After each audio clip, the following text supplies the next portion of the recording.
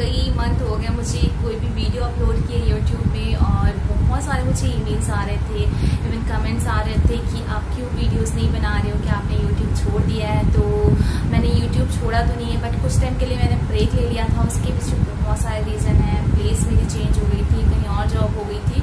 बहुत सारे रीजंस हैं तो उसके बारे में हम बात किसी और वीडियो में करेंगे बट आज का जो ये वीडियो होने वाला है ना बहुत स्पेशल होने वाला है। तो आज के इस वीडियो में मैं आपके साथ शेयर करने वाली हूँ अपना साड़ी कलेक्शन और आ, मेरे पास जितनी भी साड़ियाँ हैं मोस्टली जो अभी हम रिसेंट में वेयर कर रहे हैं तो वो सारी साड़ियाँ मैं आपके साथ शेयर करने वाली हूँ। ऑलमोस्ट पूरी साड़ी तो नहीं हो पाएगी बट जो जो सामने रखी हुई है फिर जो मोस्टली हम लोग अभी वेयर कर रहे हैं वही साड़ी जो है मैं आपके साथ शेयर करूँगी।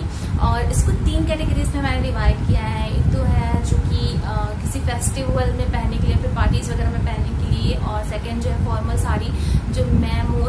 अपने जॉब प्लेस पे पहनती थी जब मैं असिस्टेंट लेक्चर का जॉब करी थी कॉलेज में। तो उस टाइम पे मैं इस टाइप की साड़ियाँ मोस्टली वेयर करती थी और मेरी मम्मी को भी बहुत ज़्यादा पसंद है ऐसी कुछ फॉर्मल और कॉटन साड़ी पहनना। तो वो साड़ीज़ की कलेक्शन एंड थर्ड जो कि बहुत ज़्यादा प्रेशियस बहुत स्पेशल साड़ी कलेक्शन है और प्रेशियस प्राइस वाइज नहीं है, बल्कि एक ऐसी साड़ी का कलेक्शन है ना, जो कि आज से 20-25 साल पुरानी साड़ियाँ हैं। तो उन सभी साड़ियों की कलेक्शन मैं आपके साथ शेयर करने वाली हूँ। तो अभी स्टार्ट करते हैं सबसे पहले जो भी party wear sari fancy saris हैं, उनके कलेक्शन आपको मैं दिखाना स्टार्ट करती हूँ। तो फिर चलिए स्टार्ट करते हैं। And this is a first sari और ये मेरा फेवरेट साड़ी है। जितनी भी साड़ी हैं मेरे पास, मम्मी के पास, उनमें से सबसे ज़्यादा फेवरेट है।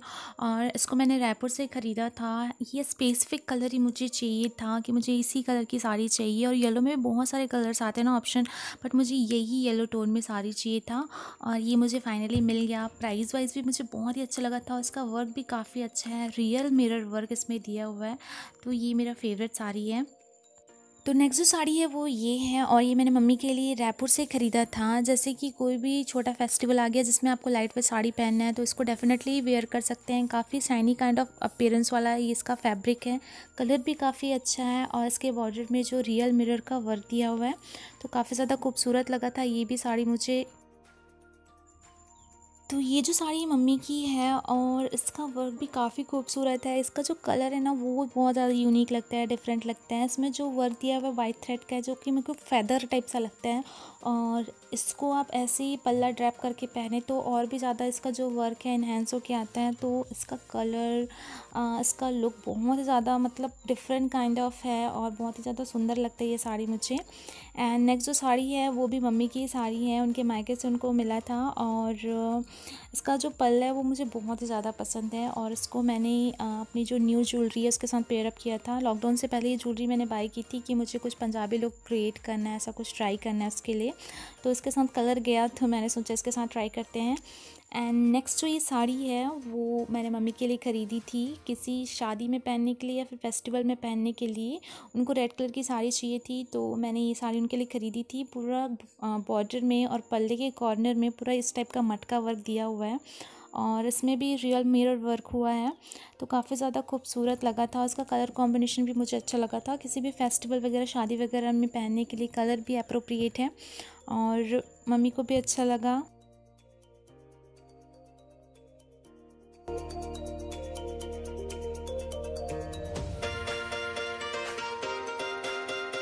साड़ी आप देख रहे हैं, वो मैंने सबसे फ़र्स्ट टाइम अगर कोई साड़ी ख़रीदी थी तो वो ये साड़ी है।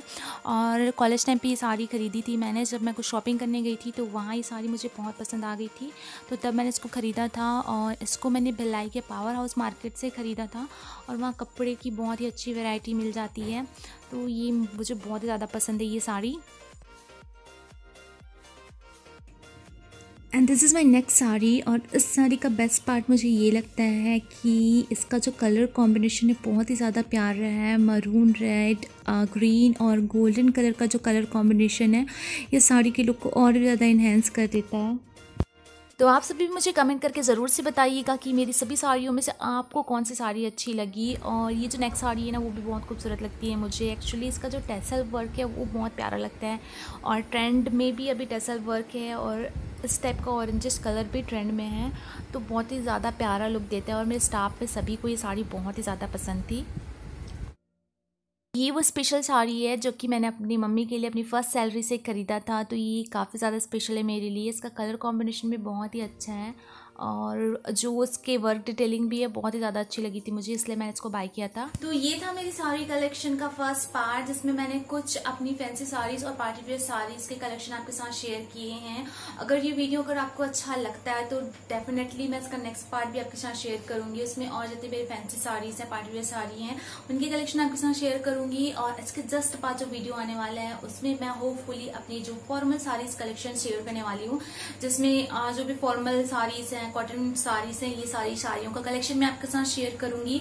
और उम्मीद है ये वीडियो आपको अच्छा लगा हो। अगर ये वीडियो अच्छा लगा तो प्लीज़ इसे लाइक करें शेयर करें और मेरे चैनल को सब्सक्राइब भी ज़रूर से करें। And thank you so much for watching this video thank you